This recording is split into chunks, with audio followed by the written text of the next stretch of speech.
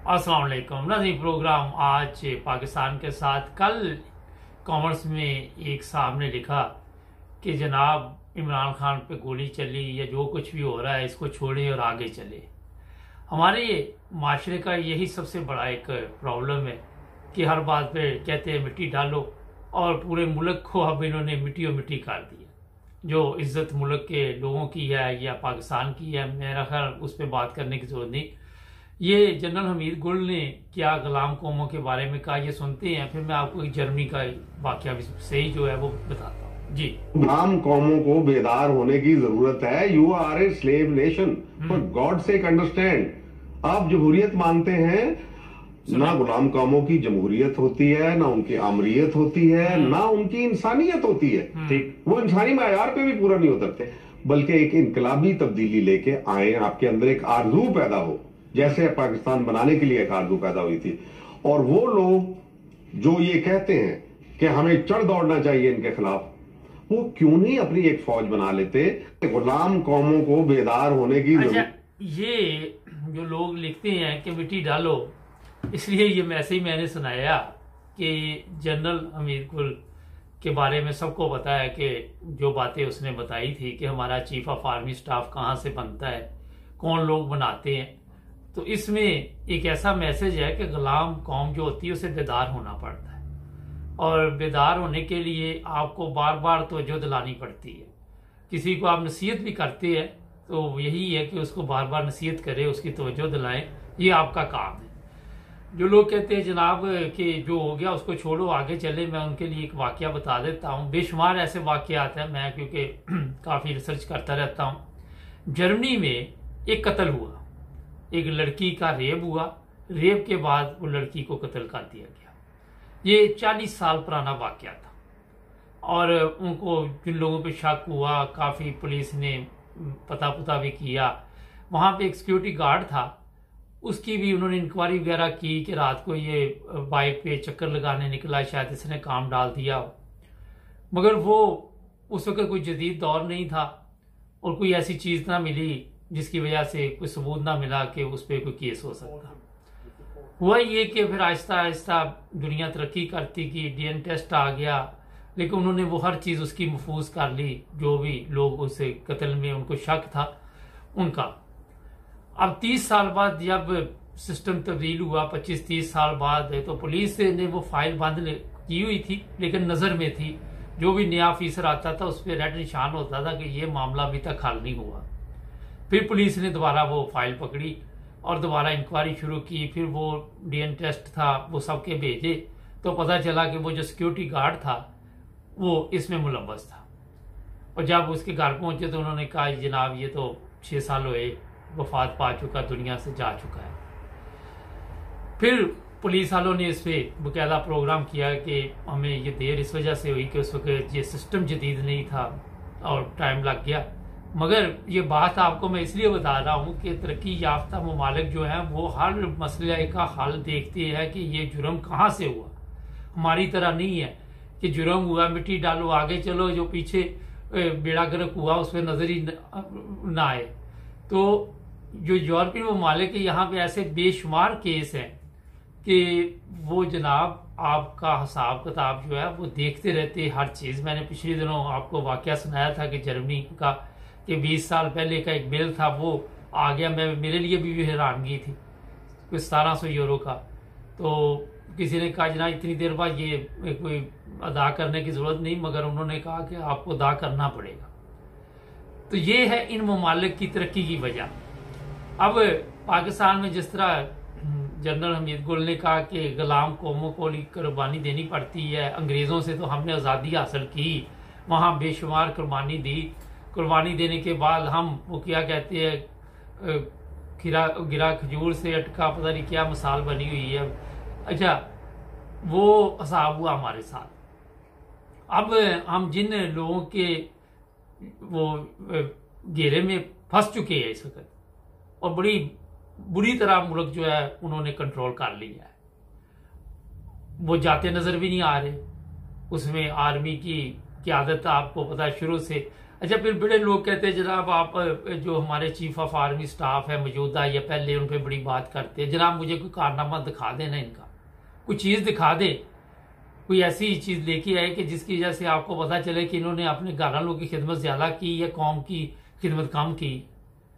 जिस ज़िम्मेदारी पे ये पहुँचे थे, अगर एक भी बंदा हमारा, वहाँ पे एक ऐसा पहुँच जाता और वो सियासतदानों को भी समझा देता कि आप अपने मामला ठीक रखिए, हम अपने मामला ठीक रखते हैं। और वो सबसे पहले अदलिया को मज़बूत करते वो कहते जनाब, अगर हमसे भी जुर्म हो तो हमारे बंदे को भी आप सजा दे, केस चलाएँ। और अदलिया आज़ाद होती और जो कोई अदलिया की तरफ़ नज़र उठाता, फौज चाहती तो उसका बंदोबस्त कर सकती थी। मगर फौज ने ऐसे क्यों नहीं किया? आप देखिए कि जो फौज, हम कहते थे ये दूसरे ममालिक के लिए है, वो अपने मुल्क का बेड़ा गर्क होते, देख रही है तो दूसरे मुल्क को क्या करना हमने? जो हमारे चीफ ऑफ़ आर्मी स्टाफ मौजूदा है, या जियाउल्ला की या दूसरे, तीसरे, इन्होंने अपने मफादात की खातिर किसी ने आइन तोड़ दिया, किसी ने कानून बदल दिया, किसी ने कुछ बदल दिया, किसी ने कहा कि इस्लाम के नाम पे वोट डालना तो मुझे डाल दो। ये चीज़ें जो है तरीक से लोग सीखते हैं। क्यों आज पिछली बातें करते हैं कि तारक बिन जियाद ने ये किया, टीपू सुल्तान की मिसाल दी जाती है? यही वजह है कि बहादुर लोगों की मिसाल दी जाती है, फिर वो गद्दारों की मिसाल दी जाती है। मीर जाफ़र, मीर सादक। अगर आप तरीक से सीखते नहीं कुछ भी तो उसका कोई फ़ायदा नहीं। अब ये जो आज़ादी की बात हो रही है उसके लिए कुर्बानी देनी पड़ती है। आपके इलम में होना चाहिए कि जब पाकिस्तान इंडिया बना तो कितने साल तक ये कुर्बानी देनी पड़ी? कितने लोगों ने अपनी जान की कुर्बानी दी? कितनी औरतों की इज़्ज़त जो है वो आपके सामने है?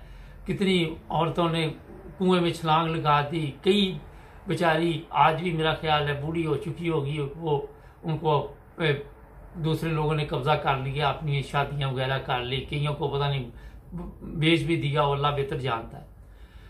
तो ये कुर्बानी देनी पड़ती है। इमरान खान की जो बातें हैं, वो ठीक है, मगर इमरान खान को कोई मशवरे देने वाले ठीक नहीं अब कह रहा है, जी, मैं अमेरिका से तल्लका ठीक रखूँगा रूस जाना मेरी गलती थी। और ये चीज़ें पहले सोचनी चाहिए थी। आपको इलम होना चाहिए था कि आपने एकदम ही सबके साथ पंगा ले लिया। कोई बंदा आपने नहीं छोड़ा, ना अपने मुल्क में छोड़ा, ना बाहर छोड़ा। मैं ये कई प्रोग्रामों में आपको बताता रहता हूँ कि इतने दुश्मन आपने बना लिए जिसकी वजह से बाद में मुसीबत बन गई। ना तो पाकिस्तान में कोई ऐसी कानून साजी हुई। आके हर जगह पे आपने चोर चोर के नारे तो लगाए, ठीक है, वो चोर थे, मगर शोर मचाने से क्या फ़ायदा था? हमत अमली के साथ आहिस्ता आहिस्ता आप उनकी सफ़ाई करते, पहले मुल्क की तरफ़ देखते। मुल्क की तरफ़ कम देखा, इनकी तरफ़ ज़्यादा टाइम दे दिया। आपको पता भी था कि ये बहुत मज़बूत लोग हैं, हमें रही अदलिया इस काम की नहीं है कि वो इनको सजाएँ दे सके। वो बेकार अदलिया है, वो खुद बेचारे इनके टुकड़ों पर पलते हैं, जो आज का पार्लियामेंट है, वही तो अदलिया बना रही है, वही मंजूरी अदलिया की देती है। और यही वजह आपको पता होना चाहिए कि आप आहिस्ता आहिस्ता इनकी सफ़ाई करते, बजाय इसके कि आप हर बात पे, यूरोप की मसाले देते। आपको ये देखना चाहिए था कि यूरोप के साथ हमारा मुल्क तो सौ साल नहीं अभी मिल सकता, जो हमारी हालत है वहाँ पे। और जिस तरह हम वहाँ ज़िंदगी गुजार रहे हैं, जो चोर, चके, जो सब, ये नहीं कि सियासतदान अवाम भी उसमें शामिल है, जिसका जहाँ दाल लगता है, यहाँ से किसी को मैंने काम कह दू ना तो दो मतलब दो लाख का काम होना तो वो आठ लाख में बता देगा।